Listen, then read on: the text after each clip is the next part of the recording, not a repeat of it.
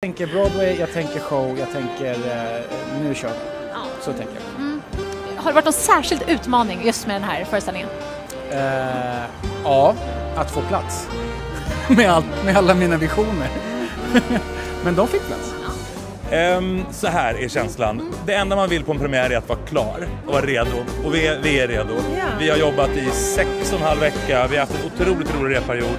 Eh, vi har haft testföreställningar i publik och det har varit så roligt mottagande. Folk har skrattat och, och, och, och jublat. Så att vi är redo för det här. Så det känns bara pirrigt och I kul. feel calm. Yeah, I feel really calm. Like, You make me calm. Finns det någon förväntan nu då här ikväll?